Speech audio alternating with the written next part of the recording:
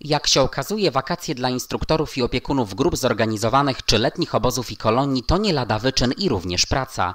Trzeba zwrócić szczególną uwagę swoim podopiecznym, poświęcić im mnóstwo swojego czasu, a także znaleźć sposób na ujarzmienie młodych i dynamicznych umysłów.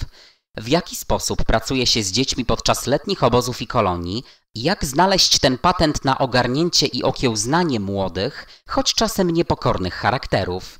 I czy w Olecku przy tak ciężkiej i wyczerpującej pracy opiekuna jest jeszcze czas na relaks? Posłuchajcie.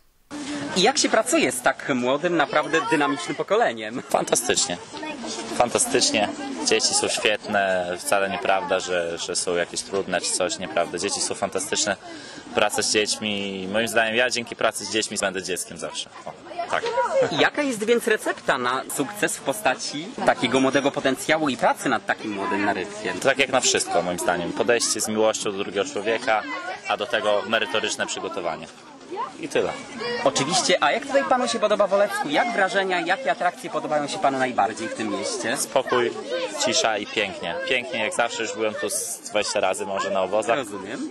I zawsze tutaj po prostu można trochę się wyciszyć, odpocząć. No, dobrej jakości boisko, więc to istotne, więc spoko. Olecko polecam wszystkim. Oczywiście. I rozumiem, że w kolejnych latach tutaj przyjazd tej grupy jak najbardziej będzie możliwy. Na 100%. Paweł Kopiczko, Para FM.